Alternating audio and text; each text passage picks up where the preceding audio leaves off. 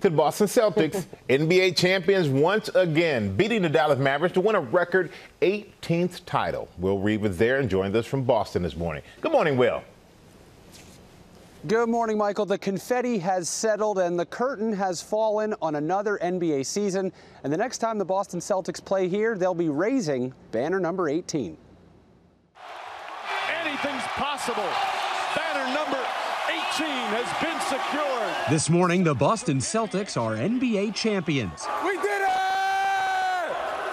Oh my God, we did it! In front of a delirious home crowd, Boston dominating the Dallas Mavericks 106 to 88 in Game 5 of the NBA Finals, winning a record 18th NBA title. After the confetti fell, the Boston faithful pouring into the streets, celebrating deep into the night. Jaylen Brown. Jaylen Brown, the finals MVP, the award named after Celtics legend Bill Russell. It still doesn't even feel real. I'm just in awe right now. My teammates were great. It was a great win, and how, how awesome is it to, to be in Boston and to be celebrated on the home floor? So um, it's amazing. This is insane. This is this is pure chaos. This is what you would imagine winning in, in Boston would be like. Teammates for seven seasons, Brown and Jayson Tatum played the most playoff games as a duo ever before hoisting the trophy. They hope they're just getting started. This was was an amazing night, is an amazing night. Still got more to do. I just keep saying we did it.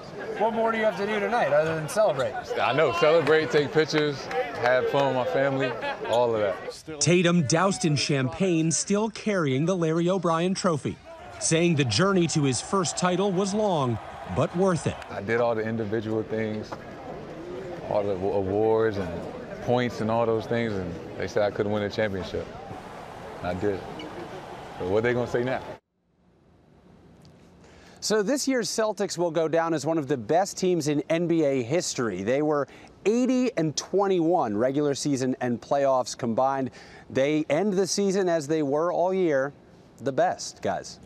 It's yeah. good to be the best. Right? Good to be the best. And, you know, Jayson Tatum just win the championship. He's already thinking, what are you going to say now? It's like right. the competitive spirit. Exactly. And it's good to see those guys. They were so serious, all these interviews that Will has done, oh, you know, during this whole, whole playoffs. Then to see them actually celebrate and let yes. go and be, be excited about it. They looked like they couldn't miss last night. They were just feeling that confidence, looking great. Yeah, and Dallas Solid. Mavericks, great season by them exactly. as well. So great playoffs.